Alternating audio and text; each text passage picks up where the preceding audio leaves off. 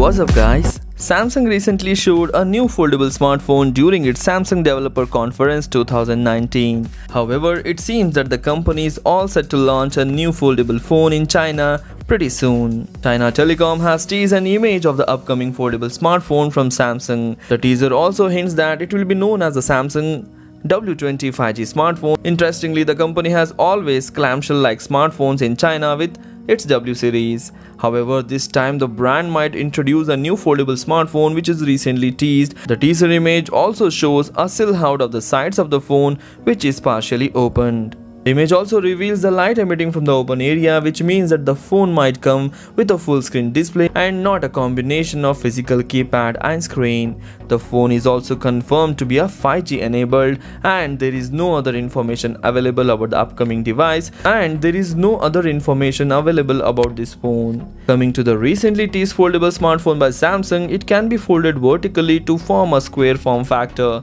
The upcoming foldable smartphone also features a punch hole camera module at the top center position. Samsung also showed how it is optimized the user interface for its upcoming clamshell model.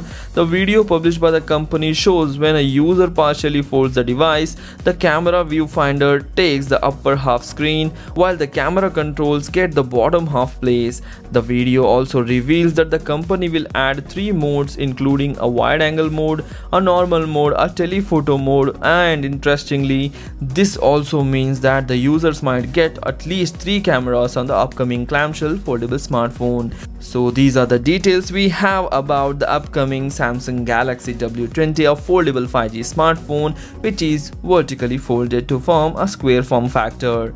Hope you like the video. If you like the video please hit the like button and do share this video among your friends. Thanks for watching. Take care. Bye bye.